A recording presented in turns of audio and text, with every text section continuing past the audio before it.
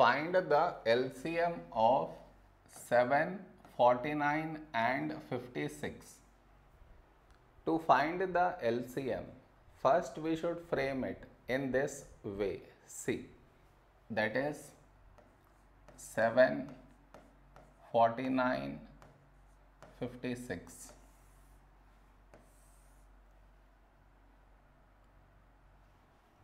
Okay, next. Now we focus on to the first number that is 7. Here 7 is the prime number. So we take 7 ones 7. Now the other number is 49. When do we get 49 in 7 table? 7 sevens 49. The other number is 56. When do we get 56 in 7 table? 7 eights 56.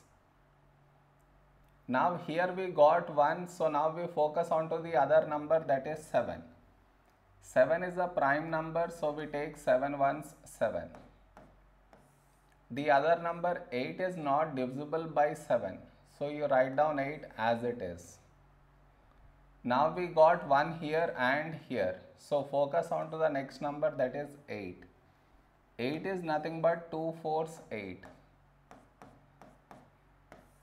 Now we have 4, 4 is nothing but 2 twos 4. Now here we have 2, 2 is a prime number, so we take 2 ones 2. So now we got 1 in all the three places. So now our LCM is, LCM is the product of these numbers that is this. Okay.